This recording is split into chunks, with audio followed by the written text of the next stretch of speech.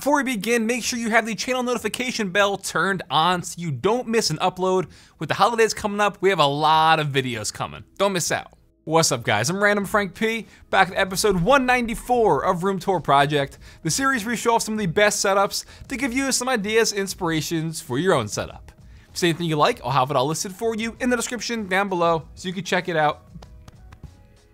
But let's kick off episode 194. Excuse me, I didn't fully burp, but either way. First up, we have Dakota P with this really awesome converted dorm room gaming setup. And a few weeks ago, we had another dorm room setup, but this one here also doing some really cool things you could see before, very just bare and empty. Now, a really cool gaming setup. Got some Nanoleaf Aurora light panels to give the room some color, this faux brick backdrop along the wall, give it some nice accent and stuff as well.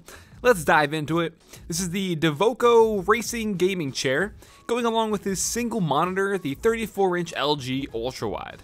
Now, since these dorm room walls are like concrete, he obviously couldn't mount it to the wall, so he has this just on a like a monitor bracket, and there's a stand in front of it as well, so kind of hide that and give him some extra like shelving space on the desktop. Down to the peripherals, his keyboard is the brand new Logitech G915 wireless with Logitech G703 mouse. And charging that is the PowerPlay mousepad. Then as for the PC, on the desk behind the setup where he has his TV is this mini ITX build. Inside here we have an Intel i9 9900K CPU, looking like some sort of stock fan cooler on that, so I'm not really sure if that is actually an i9 9900K with 32 gigs of RAM. Uh, not too sure what the RAM is. There's no info on the motherboard. And then NVIDIA GTX 1660 Ti graphics card. Um, usually I don't critique things, but for a small build, I don't know if that 9900K would make sense if it's being throttled by that GPU and that fan. But regardless of the specs itself, the overall gaming room, I think, is just really cool. Again, a converted dorm room to give it just some actual life into this otherwise what would be boring concrete walls, you know? So this is just a complete renovation. Next up, we have Madril with the three display setup here, going with the two on the bottom and the massive overhead TV up top. Everything here wall mounted, good job on cable management to hide it all. You love to see it. So for those two displays in the bottom, they are 24 inch MSI Optix monitors with a 55 inch 4K LG TV as that overhead. So lots of screen real estate with a 55 inch TV. And by the way, I'm digging the Kanye vinyls you have mounted there off to the left side. Checking out the peripherals, we have the Anne Pro 2 keyboard with those HyperX double shot PBT keycaps for that nice RGB glow to it with the Logitech G703 mouse yet again, and for audio, the Astro A40 TR headset. And he's also got the Elgato Stream Deck on there for some, you know, extra macros and functions while gaming. Now, over to the PC, this is a pre-built from iBuyPower. It's the Trace 2 RGB inside that Intel i7 8700K CPU with their own iBuyPower 120mm AIO. We have 16 gigs of XPG Z1 RAM on the MSI Z390A Pro motherboard and a Gigabyte RTX 2080 WindForce graphics card. And then across the room, he wants to use that 55-inch TV as like an actual TV for watching movies, got a little casting couch there, some uh, nice like figures and collectible stuff up on the walls, uh, with RGB lighting in the shelves and stuff as well, just to add to the overall feel of the gaming room. So good stuff from Madril, and didn't even mention really the Star Wars theme he has going on with the wallpapers, the prints up on the wall. You might have seen a lot of these Star Wars collectibles and stuff, but yeah, I'm digging it. Now we have Viktor with the whole Halloween theme set up. I'm really digging that. Uh, this was submitted obviously before Halloween. Unfortunately, I'm not getting to it until now. But either way, Viktor, I appreciate the holiday feels. So for his monitors, this is actually crazy. Uh, that is a 65-inch HP Omen X Emperium. I had no idea that was even like a thing, but apparently it is, and it's massive. With 34-inch ultra-wide monitors from Samsung mounted on each side in the vertical orientation, just to give you an idea of how big that 65-incher is, because 34 inches vertically are massive as well. So Damn. Down to the peripherals, we have the Vortex Poker 3 RGB keyboard with the Logitech G502 mouse, the wireless Lightspeed version. And then as for audio, powering his HiFiMan HE500 headphones are his amp and DAC, the Schiit Bifrost, and the Schiit Lyr. I'm probably butchering those names, but the stack is the amp and DAC. And then over to the custom water-cooled PC, looking really nice and clean with the hardline cooling here. Great job all around on that. This is the Lian Li PC 011 case inside of an Intel i9 9900K CPU with 32 gigs of G.Skill Trident Z RGB RAM on an Asus ROG Maximus Extreme 11 motherboard and the EVGA RTX 2080 Ti XC gaming graphics card. Loving the color coordination there, all green PC, orange RGB lights around the setup, behind the PC, behind the desk, and even in the, the Vortex keyboard. Like I said before, fitting in with that Halloween theme, uh, but even just as it is, still a very nice looking setup. And then how about Kai J coming in with the very natural wooden themed. You got the plants around here, the nature wallpaper and stuff. A walnut and white color theme going on. I am always partially biased too. Plus the overhead monitor, two for two. Geometric shapes. All right, this is. Let's hop into this one. The 34 inch Alienware Ultra Wide is the primary display, with a 24 inch Dell monitor mounted as the overhead. Man, that walnut backdrop looks awesome. For the speakers here, these are the Fluance SX6 in white, and for the rest of the peripherals, the keyboard is a custom build. It's the XD84 with the KBD75 PCB, lubed Gateron yellow switches, and SA Ice keycaps. Real nice stuff there, and the Model O mouse as well. Really digging that color coordination.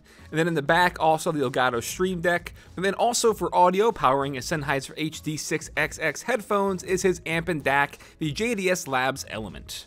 Over to the PC, a really sexy, clean ITX build in the NZXT H200i case. We have an Intel i7 7700K CPU with the Noctua NHD15S cooler with those Chromax kind of shields on it, 16 gigs of G.Skill Trident Z RGB RAM, and the Founders Edition 2080 Ti graphics card with the NZXT G12 GPU cooler on there some braided cables, a little 5 inch LCD screen in there as well so we can monitor his temps and stuff like that.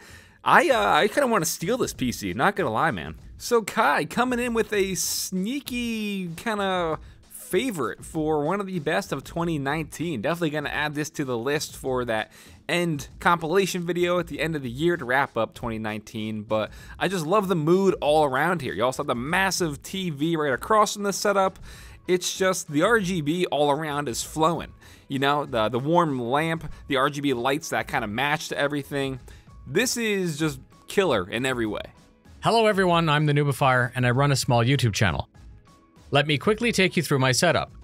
I do most of my gaming standing up in an anechoic studio that was built in the basement. The standing desk is bolted secure to the wall, and it only serves to hold the controllers and input devices. The input devices are mounted on custom mounts by Monster Tech, with dual Virpil joysticks, a Virpil throttle, a 10 keyless Corsair K65, and Corsair M65. I have been playing standing up for over 7 years, so I do get comments often about how uncomfortable it must be, but it isn't. I have a set of Adam Audio T7V near-field monitors placed on stands so that the tweeters are level with my ears when I'm standing. There's a Scarlett 2i2 with a cloud lifter to drive the Shure SM7B, and the 2i2 also does double duty as the DAC for the audio monitors. The monitors are the cornerstone of the whole room. It's a pair of 49 inch 32 by 9 LG monitors with a total usable space of 5120 by 2880. Games are played on the lower screen, leaving the second one for Discord, watching streams, or monitoring system temperatures.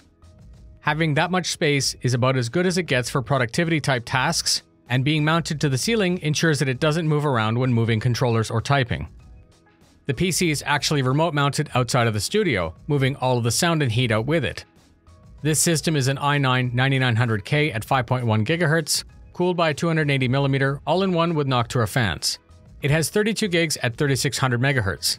The system drive is an Intel 900P PCI Express SSD, and there's also a 1TB 600p for data and recorded game footage. For graphics, an EVGA 2080 Ti Black, and everything runs on a Gigabyte motherboard that's attached to an open frame Thermaltake P3 without glass. I'll quickly go into detail about the rest of the studio. The studio has space for photographing B roll, interviewing for podcasts, researching for videos, playing VR games, and it also has the MonsterTech MTX sim rig. The sim rig has its own dedicated PC with an Intel 8700K, 16 gigs of Corsair memory at 3200 MHz, two Samsung 500 gig SSDs, a Gigabyte RTX 2080 on a Gigabyte Micro ATX Z390 motherboard. Once again, all mounted up on a Thermaltake P3 case. The simulation rig is a modular MonsterTech MTX. This can be converted between racing and flight in a couple minutes. All of the road racing gear is made by Fanatec, and for flight, Virpil CM2 gimbals and Warbird pedals. The large carpeted area next to the sim rig is the play space for the Valve Index VR. The lighting in the entire studio is RGB Philips Hue, so you can achieve the right mood on voice command. Thanks very much to Random Frank P for showcasing the build. If anyone has any questions that I didn't cover, or a comment, please post below. This episode is brought to you by the Corsair Virtuoso RGB wireless gaming headset. With 50mm drivers and a frequency range double that of typical gaming headsets, you are getting outstanding quality and premium build quality. This headset also has Slipstream, making the connection to your PC blazing fast, while also providing one of the best microphones on a gaming headset on the market. To check it out, I'll put a link for you in the description down below. Alright guys, that'll wrap it up for episode 194 of Room Tour Project. Hope you all enjoyed. Don't forget, check the links in the description down below if it's anything you like. Have listed down there for you, as well as some very simple instructions on how to submit your setup if you want to be possibly considered in a future episode of Room Tour Project. Check the links down below for it all. Like this video, give it a big thumbs up to show your support. Feel free to follow me on Twitter at randomfrankp. And lastly, if you haven't already, hit that subscribe button. Hope you enjoyed. Have a good day.